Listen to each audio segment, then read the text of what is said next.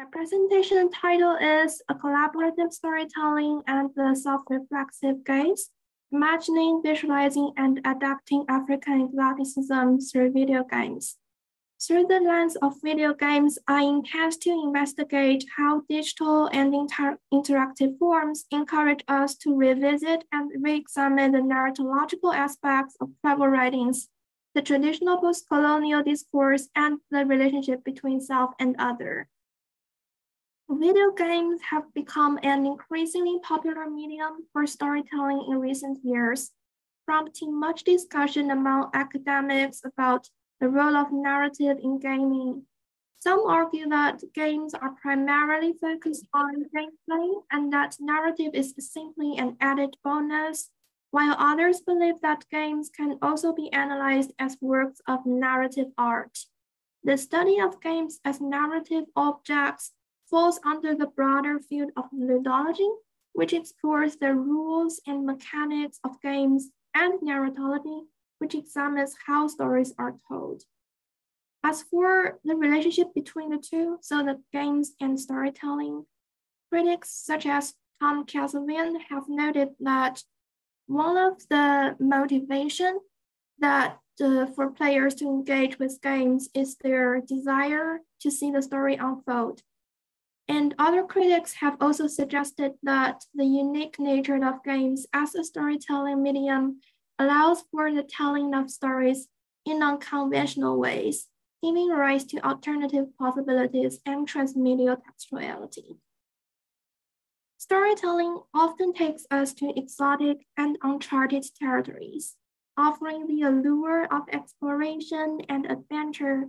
As Colin Monson, the senior level designer for the video game Advanced Warfare, suggested, Designers are always searching for captivating and immersive settings that transport players to new and exciting worlds. This can be fantastical, such as an otherworldly planet or a mythical realm, or they can also be grounded in reality, more or less.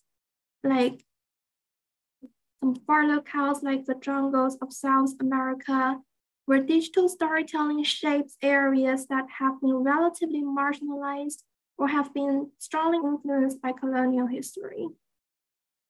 Video games, like other forms of media, can reflect and perpetuate imperial and colonial legacies. For example, games such as Far Cry 2, Tropico, and Age of Empires all present colonial or imperial narratives in their gameplay and storytelling. Tropico, in particular, has been criticized for its colonized games, which interpolates players through the discourses of capitalism and colonialism, as noted by Christina Magnet. Other critics, however, pointed out that there are also instances where games offer a reflexive view of the other by presenting examples and narratives of individuals from different cultures and backgrounds so in this presentation, I'm going to explore more about how interactivity and game mechanisms contributes to this emerging reflexivity and the constructive nature of self and other dichotomy and cultural differences. So in order to do that, I selected some examples from the platform itch.io. Itch.io is an open game community platform as you can see from its game, the its name that allows game developers to share and sell their games. It features a diverse range of game types and subgenres catering to different interests and preferences. This platform has also been used in academic research with studies exploring fair coming of age visual novels and the representation of fair indie games on this platform. So the examples I will include come from games in various forms and genres published on the website. Games published on itch.io offer a diverse range of storytelling methods, including some more text-based ones, such as interactive fictions, and some more image-based ones or multimedia ones, such as stock art collections and visual novels. So if you visit them, you will find that some are way more complicated than others. with more sophisticated image crafting or coding or visual and sound effects. But in this presentation, I'm going to choose some simpler examples just to illustrate the mechanisms of interactivity in different forms. To get into the topic, let's first look at three image-based projects published on this website. Those often use interactive landscapes and virtual tourism to immerse players in unique and exotic settings. 3D settings and stock art can create realistic and immersive environments for players to explore. One project published on the platform, Monster Stock Art African Mythical Creatures, for example, features detailed depictions of creatures from African folklore. There are many similar projects, such as this project titled African Big Five Coloring Pack, which allows players to explore the African savanna and color in depictions of its iconic wildlife. By giving the players the chance to recolor or reshape the original designs of the image, the project constructs the players into active participants rather than the passive observers of the exotic environment. As some critics, such as Shabilo noted, in the interactive environment, players are not just observing the action in these games, but are actively participating and controlling the action, creating a sense of agency and engagement that is unique to video games. This is especially the case in 3D setting games, such as this Mizulizaki's Goat in which the control panel enables the players to change their angles, perspectives, and objects for investigations. You can choose to look at desert trees from a distance, for example, or to get closer and manipulate the details with the tools in your toolbox. In this way, the game not only allows the players to choose what to see in an exotic land, but also how to see it emphasizing the sense of otherness as a kind of product of the, your creative gazing eyes. The co-constructed storytelling, I think, is more evident in some multimedia games projects, such as this Lotus of the Nile, where the words, images, and sounds together create an immersive environment. The Lotus of the Nile is a puzzle game developed and published on the indie game platform itch.io in 2020. The game is set in ancient Egypt and prompts the players to restore the sacred lotus flowers by manipulating blocks and activating switches. Featuring a colorful and stylized art style inspired by ancient Egyptian culture and architecture, the game received recognition in the game gaming community. It won the Best Mobile Game Award at the 2020 International Mobile Game Awards, Middle East and North Africa, for example. Especially Lotus of the Nile explores the themes of interactivity, memory, and collaborative interpretation of exotic through its emphasis on restoring the lotus flowers which is an important cultural object that represents beauty, purity, and eternity in ancient Egyptian culture. So just as said in the intro part of the game, how do we want to be remembered?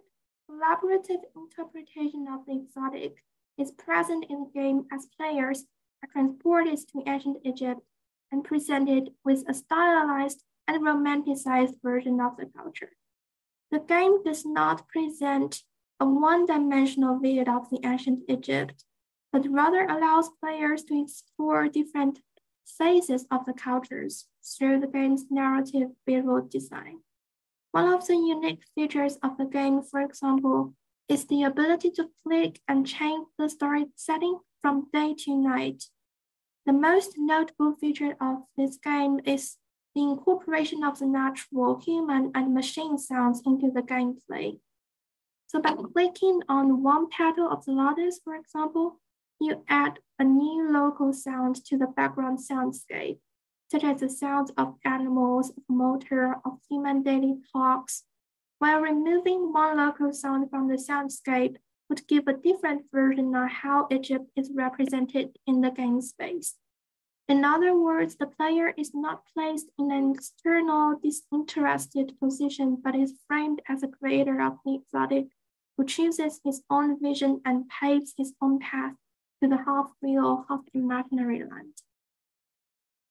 And finally, I'd like to introduce an interactive story as an example for text-based game projects. The interactive storytelling platforms such as Twine provide opportunities for creators to engage with classic literature in new and innovative ways.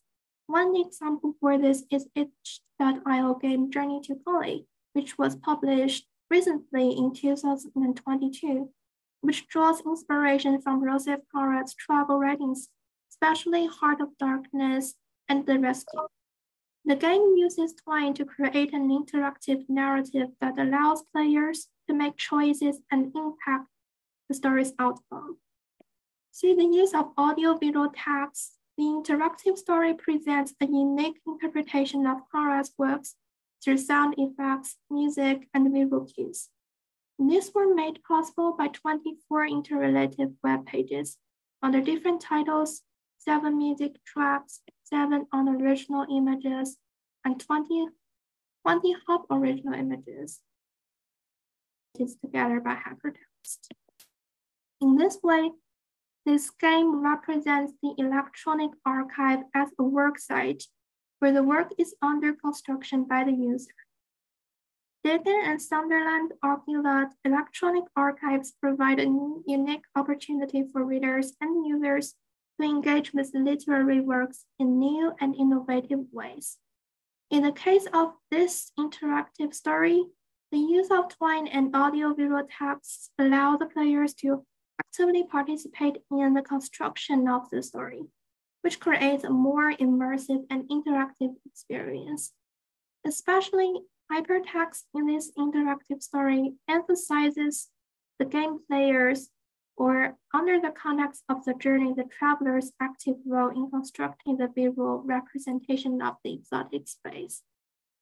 For example, the players can choose which part of the image they want to see or which stylized version of the exotic land they want to create for themselves.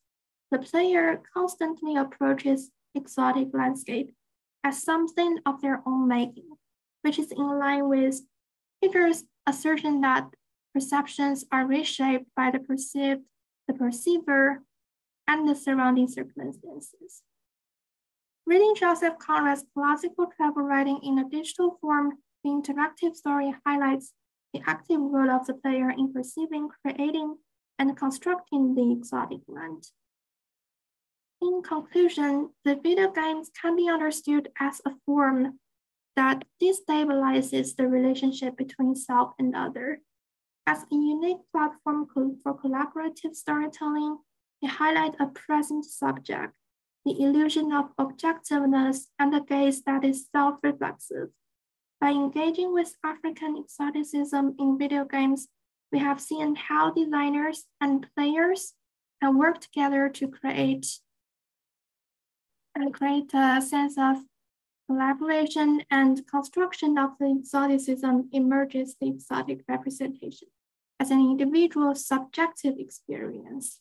And the game players approaches the foreign land as their own invention and the manipulation of the textual and visual images. By adding insights in the binary self-other relationship in the traditional post-colonial scholarship, this interactive media reveal and reflect upon the playing subject's conscious entertainment of the other as an imaginary space or an unheard of symbolic system, as coined by Roland Barthes in his Empire of Signs. This is the end of my presentation. Thank you for listening.